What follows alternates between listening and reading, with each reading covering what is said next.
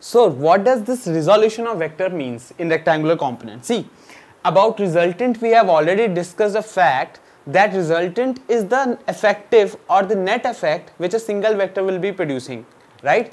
Instead of suppose this pen is acted upon by two or three forces, so the resultant vector would be a single vector force which is the equivalent to all of the individual forces, right? So same ways, rectangular component of this vector would be two vectors which are in horizontal and vertical directions such that the resultant of those rectangular components will be back the same vector. For example, suppose this vector is vector A, alright. Let's make a construction in this direction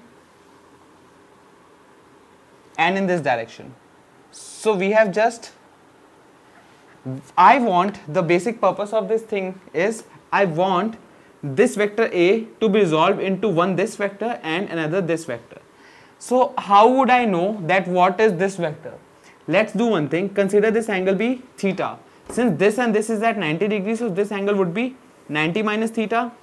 Now, I want to write the magnitude of this in terms of this. So this vector is going to become, if I use cos theta, cos theta would be base, you want to name it, let it be P QST, right?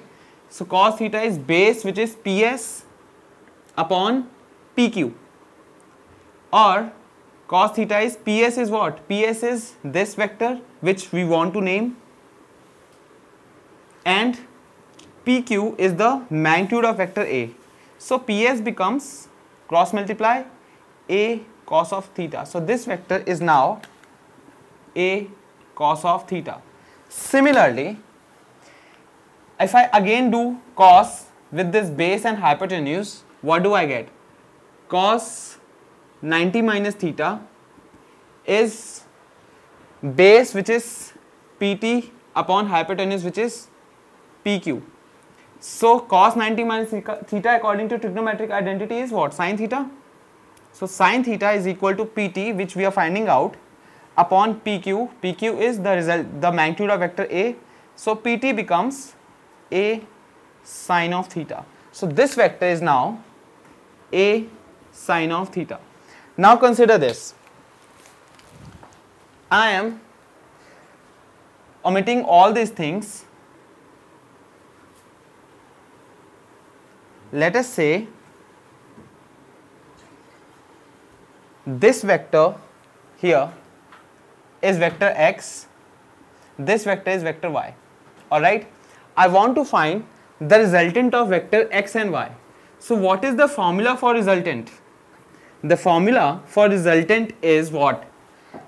Under root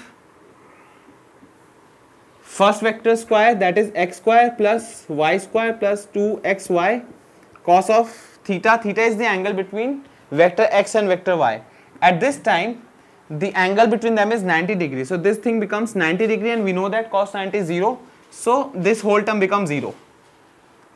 So we are left with under root x square plus y square. x square is a sine theta square plus y square is a cos of theta square. So this becomes a square sine square theta plus a square cos square theta under root. If you take a square common out, you will be left with sine square theta plus cos square theta. What is sine square theta plus cos square theta? It is 1. So this whole thing is 1. You are left with under root a square which is a. So resultant of these two vectors is back the same vector in the same direction a. So these two are called rectangular components. Rectangular means along x and y axis. Along x direction that is along horizontal this is cos theta along vertical this is sine theta. This is how you resolve a vector into rectangular components.